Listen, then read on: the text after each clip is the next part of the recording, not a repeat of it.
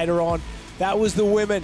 This is the men. Can it be a Newport double? Hannah Minogue took the women's race. That's Mitchell Trim. He'll be doing his best, but there's a huge lineup of competitors here trying to steal his thunder. Well, it's not his thunder they want, Josh. It's his lightning. This guy is lightning fast, and he is one of the boys that's going to be right up the front end here today. Oh, there's a few lightning fast boys here.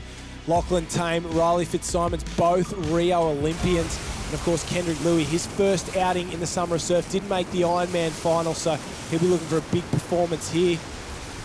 And start is everything. Very tough to get him off the beach here with the Newport shore break on and away. It's time to fire things up. Jett Kenny in the middle really tries to get going, but maybe just gets left ever so slightly behind as Riley Fitzsimmons in the middle there really puts the power down. Lockie Tame at the top of the screen as we ride on with Lockie. Have a look at the power there, those arms pumping out to sea, and it is Fitzsimmons from the Avoca Club, from his teammate, absolutely flying out at the moment, and maybe one of the Manly competitors, Nick Dorr, as well on this side. So the Northern Beaches boys and the Central Coast going very, very hard at it, but it's a bit of a line across the field as Jamo Porter probably not used to having this much speed around him. He's usually out in front, and he's been a little bit left behind at this moment. Well, so much speed, so much power. The rating of these boys when they get those skis up and moving is we see a little bit of trouble there for Jett Kenny stuck in behind in the middle of the pack. So again, another bloke who's been paddling extremely well, but he's stuck behind here now, Josh. Lachlan Tame looks like he's going backwards. Had a couple go past him. Interesting. Ben Carberry there, one of the Ironman boys, big, tough, strong, former scaffolder.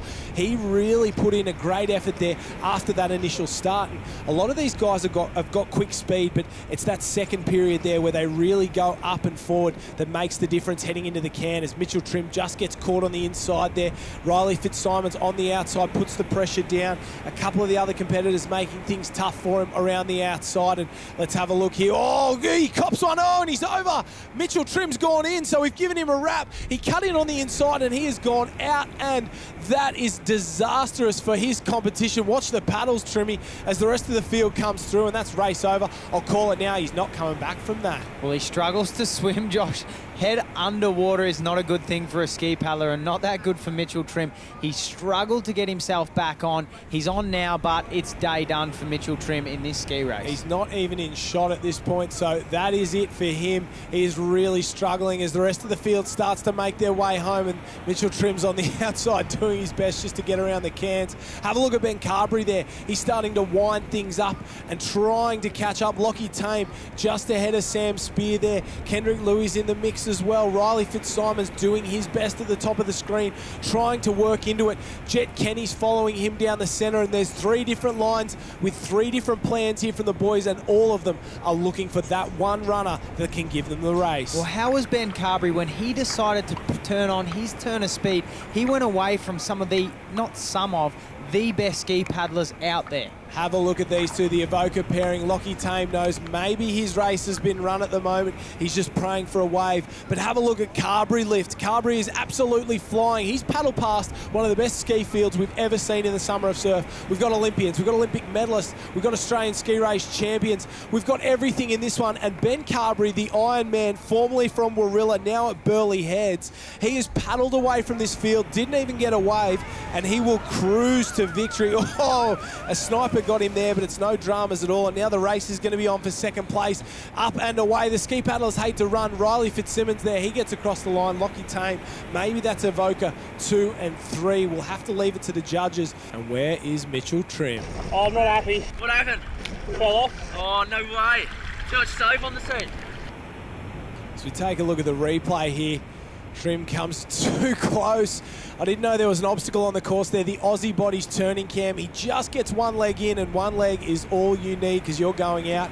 And as you said, Jack, the ski paddlers hate to swim and have a look at the paddles and skis going past him. That's not the place you want to be. The Aussie Bodies Cam takes its second casualty for the day.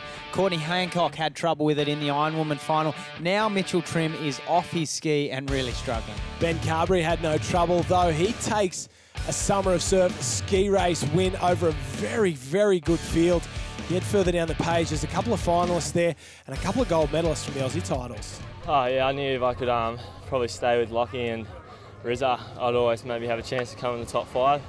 didn't really expect to sort of paddle away a little bit at the end there, but yeah, stuck with the way I raced.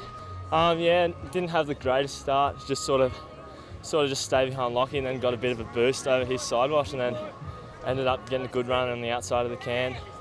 And then yeah, pretty much just from there. Um, no, I didn't really feel that safe. I wasn't sure what was behind me. I knew if I gassed myself enough, maybe I could paddle to the beach and they'd be on the way behind. But yeah, stoked to come away with that. Big weekend with the boys. And yeah, one thing led to another and then we got this haircut. Well, Ben Carberry doing his best Joe Dirt impersonation there. It's a great look. He's not on top. Lockie Tame, the Rio Olympian, ahead of Jett Kenny and Jamo Porter, the Alex crew. Benny Carberry sitting there in fourth place. Top 16 will go through to our Summer of Surf final at Surfers Paradise later in the summer. There, all these